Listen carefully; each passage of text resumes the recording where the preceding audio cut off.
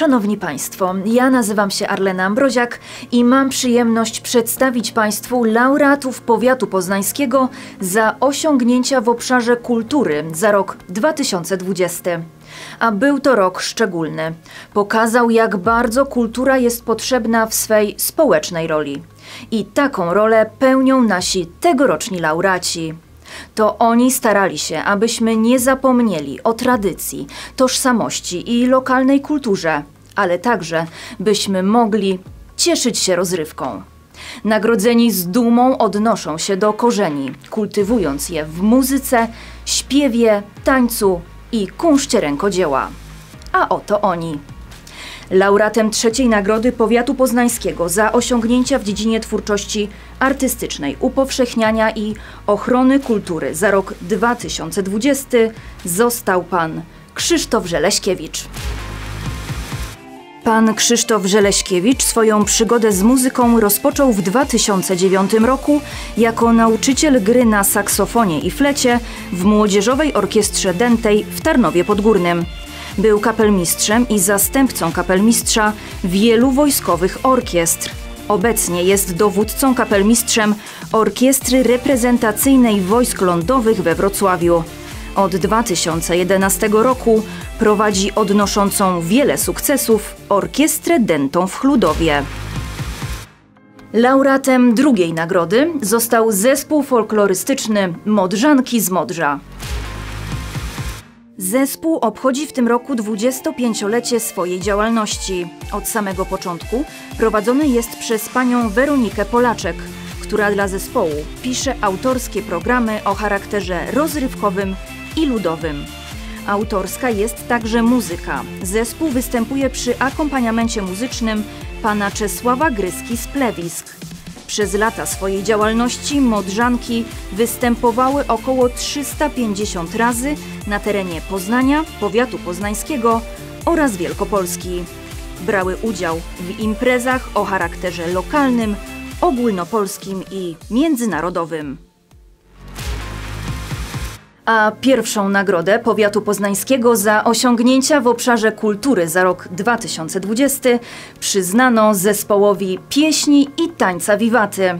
W tym roku obchodzi on jubileusz 50-lecia działalności artystycznej. Zespół prezentuje tańce narodowe, widowiska oraz folklor wielkopolski z instrumentami takimi jak dudy wielkopolskie i kozioł weselny w kapeli.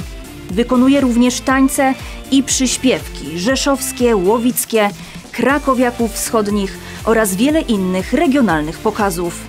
Zespół pieśni i tańca Wiwaty to ponad tysiąc koncertów, nagrania radiowe i telewizyjne, płyty oraz filmy z występów. To marka powiatu poznańskiego. Powiat poznański przyznał także wyróżnienia pani Hannie Lizynkiewicz, która jest współzałożycielką oraz prezesem Stowarzyszenia imienia Józefa Madei, współorganizującego na terenie powiatu poznańskiego bezpłatne wydarzenia artystyczne, kulturalne i naukowe. Jednym z nich jest Międzynarodowy Festiwal imienia Józefa Madei w Pałacu Jankowice w gminie Tarnowo Podgórne. Od 2019 roku pani dr Hanna Lizinkiewicz współtworzy zespół Apeiron Trio. Powiat poznański wyróżnił również panią Jadwigę Anioła. Pani Jadwiga Anioła jest twórcą ludowym specjalizującym się w plastyce obrzędowej. Przeprowadza pokazy i warsztaty na temat zastosowania ziół w kulturze ludowej, plecenia wieńcy dożynkowych i różnych ozdób oraz przedmiotów ze słomy.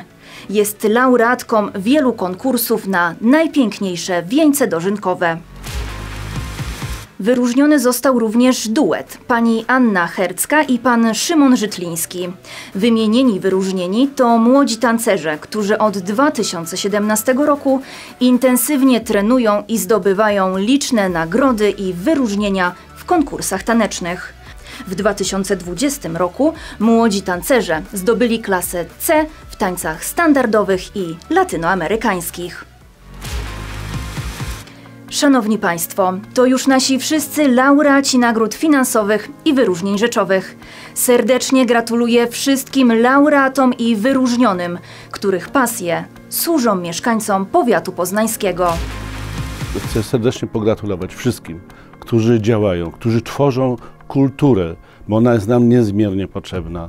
Mieszkańcy powiatu poznańskiego to lud zaradny, pracowity, zarabiający, ale także lud, który tworzy, który tworzy wartość dodaną, tak zwaną kulturalną. E, To wspaniale, że oni są z nami, to wspaniale, że tworzą, to wspaniale, że wiele lat niektórzy tworzą i że możemy wszyscy razem być, cieszyć się, e, słuchać, podziwiać, widzieć, bo tak naprawdę to powiat poznański jest ich ojczyzną. Zapraszamy także do odwiedzenia strony powiat.poznan.pl z relacją z dzisiejszej uroczystości oraz informacją o nagrodzonych. Zachęcamy również do lektury prasowej powiatowej siedemnastki w Gazecie Wyborczej. Artystom, widzom i czytelnikom życzymy dużo zdrowia.